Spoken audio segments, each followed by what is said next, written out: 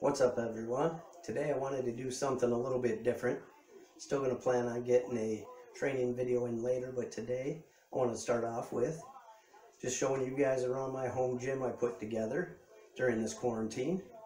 Um, nothing special, but it turned out pretty decent for just throwing it together, but I stole this, stole a lot of stuff or borrowed a lot of stuff from the gym, so I was lucky I had access to pretty much whatever I wanted. So let me just give you a quick tour, show you what I got to set up here, and we'll go from there.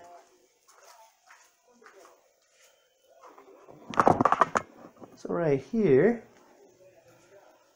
I brought my TRX bands. So I can do a lot of suspension, training, get a lot of work in using these TRX bands. A lot of you guys have used these at the gym, I know. Next, I grabbed our water bag. So I can work on my boxing.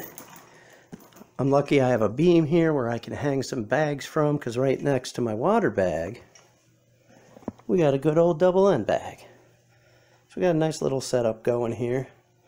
Got my thing holding it to the floor. And then we come up here, hook it up to the beam. I just put in the water bag the other day.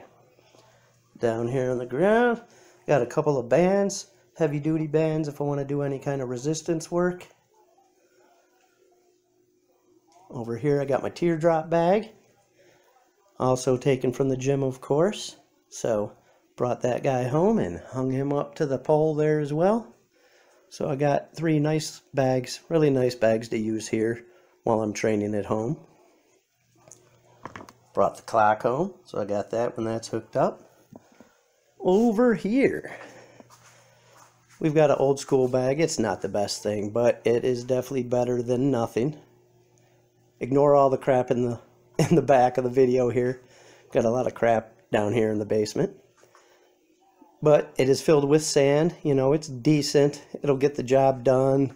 Punches, kicks, knees, elbows, that kind of stuff. But it is kind of wobbly. So when you do kick it, it does wobble a lot. So hung up these flags that I grabbed from the gym, obviously, to hide some of my clutter. Okay. Behind this clutter, I brought home a lot of my Muay Thai shorts for when I'm doing the videos. A Bunch of shirts, hybrid shirts, Muay Thai, martial arts shirts, that kind of stuff. Over there, I got my hybrid wrestling bag. Right there, we got a nice Bosu ball. I brought the ladder home. I don't know how much ladder drills I'll be doing, but definitely some boxing drills, maybe a few ladder drills when we're doing these videos. After that, we got my two pair of gloves. I got my Fairtex and I got my hybrid gloves. Got my elbow brace, my ankle brace over there. We have a medicine ball.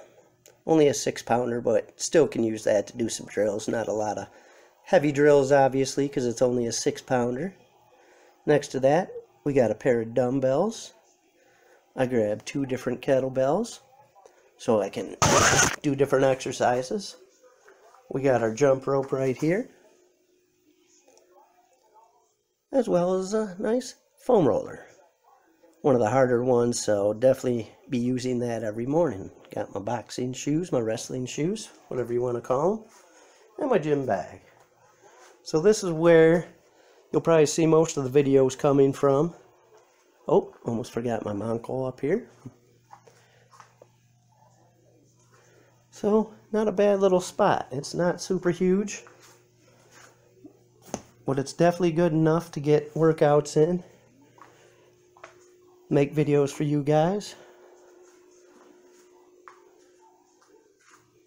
Hope you guys enjoyed this little quick video, but give you guys a little bit of the behind the scenes look of my home gym. Like none of this was here two weeks ago.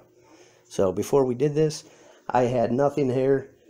The big bag had been sitting here for probably like 10 years not being used. I got that many years ago when I used to do uh, Hapkido before I started getting into the whole fighting and fitness stuff. So, hope you guys enjoyed our quick video. And uh, we'll be getting an exercise video to you guys later on today. and keep up the good work. Keep tuning in. We really miss all you guys.